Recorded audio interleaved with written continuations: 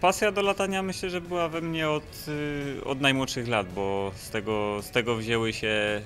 y, z tego wzięło się modelarstwo, do lotnictwa zawsze mnie ciągnęło, ale no gdzieś tam wiadomo, dla dziecka nie było to osiągalne.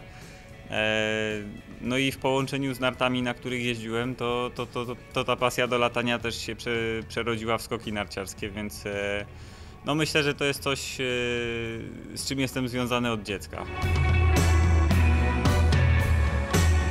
W zeszłym roku zacząłem e, szkolenie szybowcowe, więc e, no gdzieś tam małymi kroczkami e, zaczy, zaczynam stawiać te pierwsze kroki w powietrzu, że tak powiem. To jest wolność, zwłaszcza, zwłaszcza w szybowcu, gdzie jest ta cisza, nie ma, nie ma, nie ma dźwięku tego silnika, więc człowiek jest, że tak powiem, sam na sam z, z, tą, z tymi widokami, które się tam z góry rozpościerają. E, I na pewno to jest takie fajne, fajne wyciszenie, głowa może odpocząć od, tych, od tego, co się robi na co dzień. Tutaj z Krakowem e, no mamy, mamy dużo, dużo do czynienia, bo e, tak naprawdę najbliższe takie rejsowe lotnisko, z którego,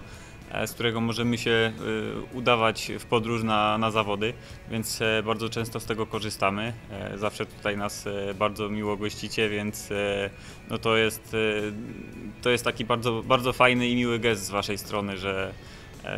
no, że możemy tutaj się czuć praktycznie jak w domu i, no i zawsze jest profesjonalnie miło i, i dlatego, dlatego myślę, że tutaj będziemy nadal korzystać.